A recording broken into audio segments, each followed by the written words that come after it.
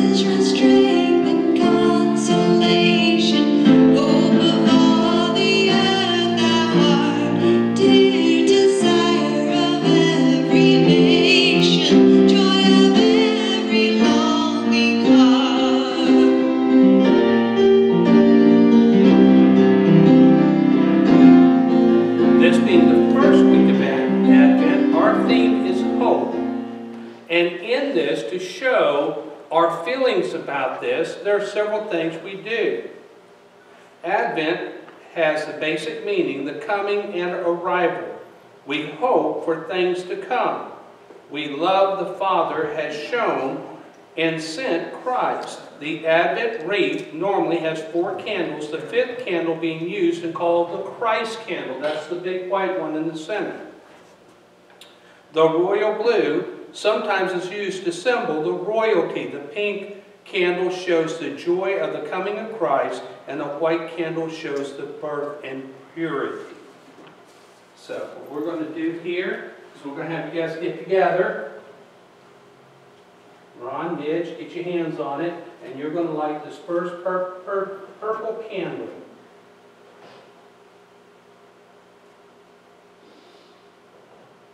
There, it takes a minute. There it goes. Right. Thank you. Now we're going to have a little prayer quick.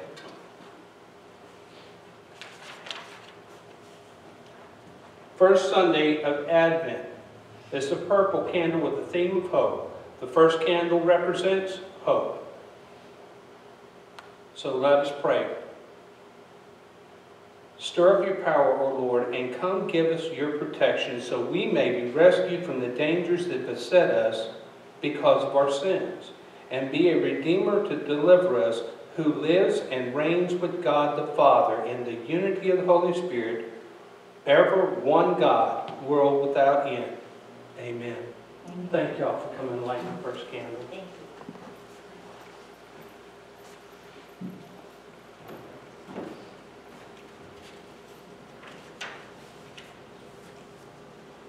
So the first thing we're going to see, and if you guys want to, we're going to be in Isaiah 7. Now, understand, these things we're going to talk about now, these things happened over 500 years before the coming of Christ. God did not try to surprise us with Christ coming. Matter of fact, the Jewish nation has been looking for Christ forever, since this time. They knew the Messiah. You could go to any Jewish child and start talking to them about the Messiah, and they could read you the scriptures. They knew the Messiah was coming. But they were looking for a different type of Messiah. You see, they were under the oppression of the Roman iron boot was on Israel. They wanted a Savior to save them from Rome. They wanted a Savior to come in as a warlord and to take over the nation and restore the kingdom of David and Solomon. That's what they were looking for. And they searched the scriptures and they looked to see how it was going to happen. There was no surprise to the Israeli nation about the Messiah. There was just misunderstanding. Isaiah 7, 10 through 14. Moreover, the Lord spoke again to Isaiah, saying, Ask thee a sign of the Lord thy God, ask either in the depths or in the heights above. But Isaiah said, I will not ask, neither will I tempt the Lord. And he said again, Hear ye now, O house of David, is it a small thing for you to weary men? But will you weary ye my God also? Therefore the Lord himself shall give you a sign. Behold, a virgin shall conceive, and bear a son, and his name, and shall be called his name Emmanuel. So this was not a surprise. They knew the Lord was coming. They knew Emmanuel was there. And the word means Savior, by the way. The coming forth of the King. This is a prophecy that was long known, was long held. Isaiah 9, 6 and 8. For unto us a child is born, unto us a son is given, and the government shall be upon his shoulders. You, can you see where the misunderstanding comes in here? When they hear things like, and the government shall be on his shoulders, they're thinking of a king that's going to come in and govern the world again, with the lead being Israel. And his name shall be called Wonderful, Counselor, the Mighty God, the Everlasting Father, the Prince of Peace. They were looking for the wrong type of God. They were looking for the wrong type of Savior. But at least they were looking. Of the increase of his government and peace, there shall be no end. Upon the throne of David, upon his kingdom, to order it and to establish it with judgment and with justice from henceforth forever and ever. You see, he is giving a picture of the coming. We can relate this. You know, we have an advantage. We have this thing called the Bible that's complete and full, the whole prophecy. We live in a time after Jesus has come, died, and been resurrected. These people didn't have this advantage. They had a love of God and they had a need and they were in hard shape. So they were reaching and searching and hoping and praying. You know, that's what we're supposed to do is hope and pray. Our, hope and pray is different from what their hope and pray was. They were hoping for a prayer of, of a military leader. We are hoping and praying for our future, our salvation, when we are with God again. So it's two different things that were happening here. And all they had the benefit of were the scriptures and the prophets of the Torah. So they only had a partial picture of what was going to happen. They didn't have the full picture.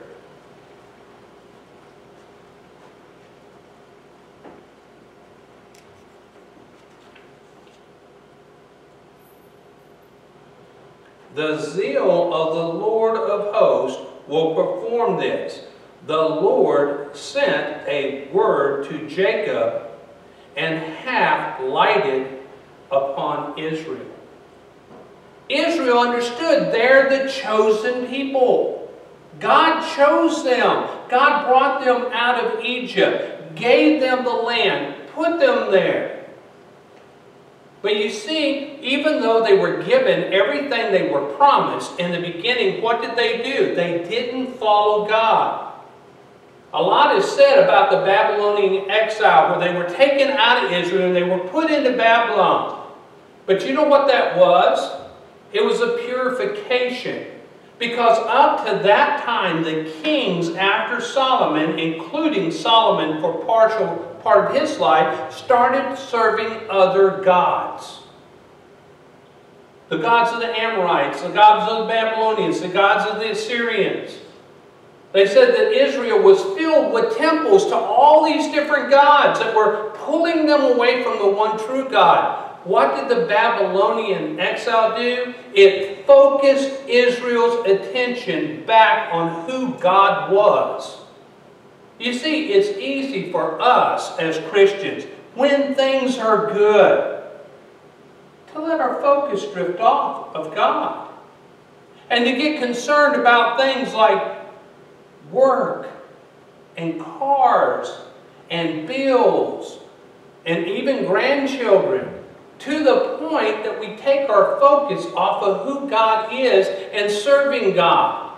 None of those things are really bad, by the way, but none of those things should outweigh your love and your service to God. That's what had happened with the Israelis.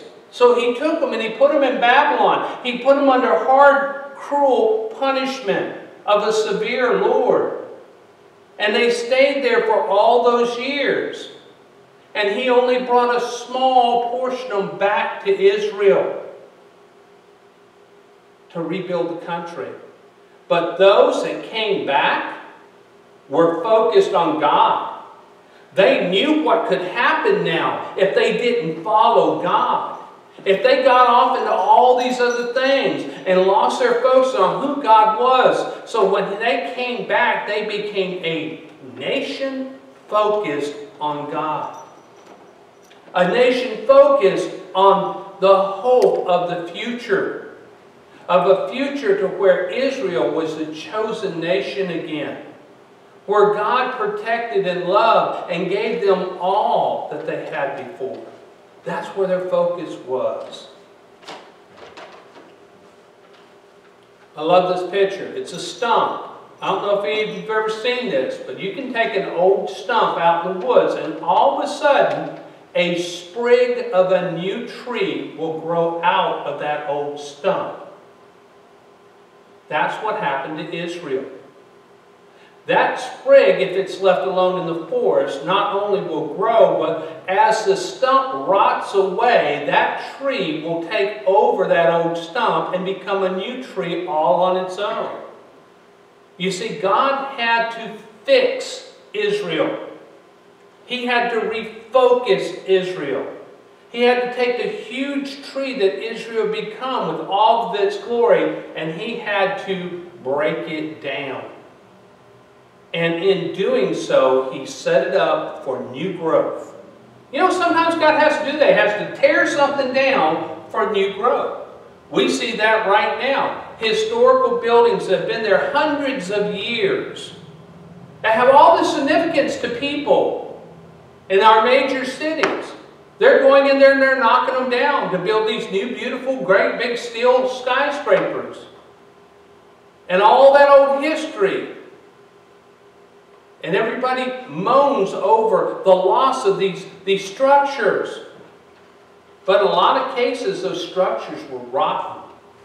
They were old, they were weak, they were crumbling.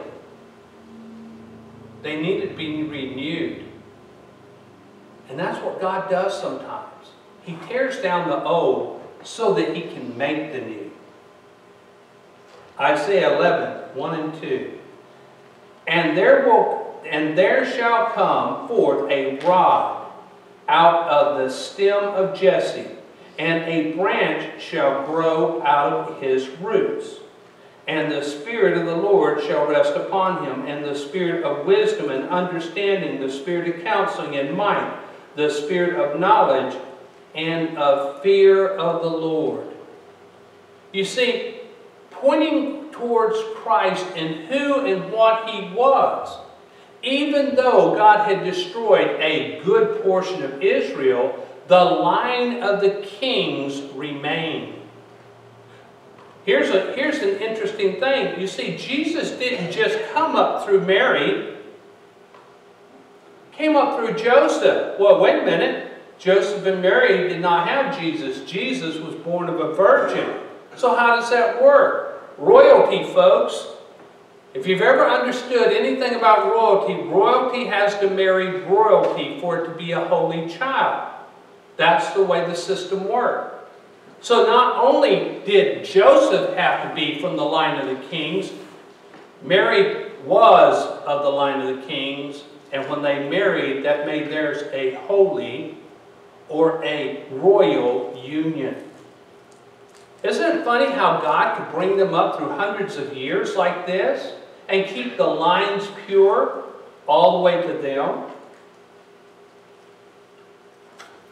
An ensign, an ensign, a banner, an object Something that denotes something great or important is an ensign.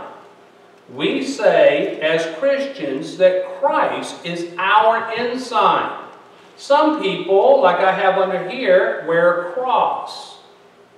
Just to remind me, it's against my flesh, I feel it. Matter of fact, every now and then, uh, I'll bump against something and it'll stick me, okay? Just kind of that reminder, hey, I'm, I'm right here, okay? But we have this ensign, this thing that we look at. You know something? We never got to see Jesus in this lifetime. Jesus says we're blessed above others. Why? Because we believed in Him without seeing Him. We were able to reach beyond what we talked about in Sunday school this morning. We're very visual people. Okay? When we see something, we make judgments about that just by seeing. I told a story in Sunday school this morning about a, a, a man. He rides up on his Harley Davidson in front of our church. And he gets off his bike and he's got all the chains and everything and the, and the leather jacket and everything else. And everybody was kind of shunning him and like, what is this guy doing? And he came right into church. Folks, he was the evangelist for the day. He came in and gave a wonderful message. But people judged him before he ever walked in the door when they heard that Harley in the parking lot. People have a bad habit of doing that. That, for us, is something we need to keep in mind. Is who and what it is that's our ensign. Isaiah 11.10 and in that day there shall be a root of Jesse, which will stand for the ensign for the people. To it shall the Gentiles seek, and his rest shall be glorious. You see, he was looking forward to us all the way 500 years before Christ came he was already looking to us. Oh, folks, by the way, we beat the Gentiles. Yeah, that's us. Unless you unless you were born Jewish, of a Jewish, you know, nation, you're, you're the Gentile. But God was looking towards us. And He was saying that we would be the ones that would look towards Jesus. Isn't it funny today? Now, I'm not taking anything away from our Messianic Jewish brothers who believe in Jesus Christ. But there are not only the Jewish nation, but other nations who do not accept Jesus Christ. Isn't it funny that it was the Gentiles, the outcasts, the Samaritans first, who nobody wanted had anything to do with it, who embraced Jesus, who accepted Jesus, who started the churches. God cared about us even back then. What's our hope? Our hope is the coming of Jesus. Whether you live a long life into your old age, until you lay into a bed of some nursing home, until the minute you close your eyes the last time and wake up in the arms of Jesus, or you hear the trumpet blast and you leave this world in this body and you meet him in the sky, either way, our future is sealed for all Christians. Christ is waiting for us. Amen. We don't have to wait for him. He's right there. I told somebody the other day, I don't fear dying. I know where I'm going. I know what I have waiting for me. I can't wait to get there. I only fear the act of death. That thing we all have to go through. I fear the act of how will I die? That's the only fear that humans have, the thing we look forward to. But after that moment of sorrow, instantly we will be face to face with Jesus to start our eternity. Hope. We have a hope that non-Christians can't even understand. Even if they had the Bible in front of them and they read the words, they can't understand it. Why? Without the Holy Spirit's touch, they can't believe. The Holy Spirit has to get ready for them and come to them and touch their hearts and open it up so the Scripture hits them. And when it hits them, they accept it. And that acceptance that they have gives them the eternal life. That's the hope we have. That's the hope that we want to desire for everybody that's not a Christian. As they come to that knowledge, saving knowledge of Jesus Christ, especially in this precious time when we celebrate our Savior's birth. It reminds us of why we're here.